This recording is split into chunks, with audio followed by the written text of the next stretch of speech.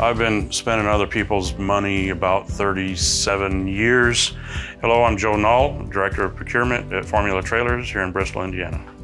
Responsible for all of the purchasing here at the Formula plant, from uh, supply items to bill of material items, make sure that the production line runs smoothly, everybody has a quality product that they need on time, regularly checking for past due or late shipments, uh, verifying prices and things like that.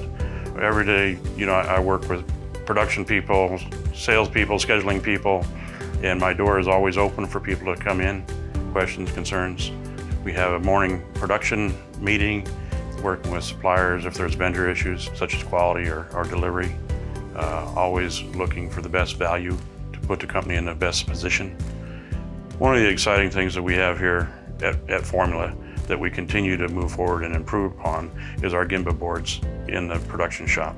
And the Gemba board allows every employee to see where each department is working, whether they're meeting their goals, falling short on their goals, so that everybody understands how we can improve and where we can do better.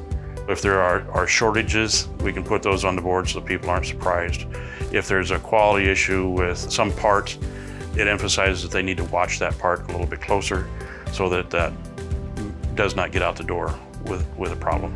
So as much forewarning as we can give everyone, uh, the Gemba board is an excellent tool for that. So the Gemba board has been a good implementation and we continue to, to build that on a daily, weekly basis. It, it's all about communication and visual communication.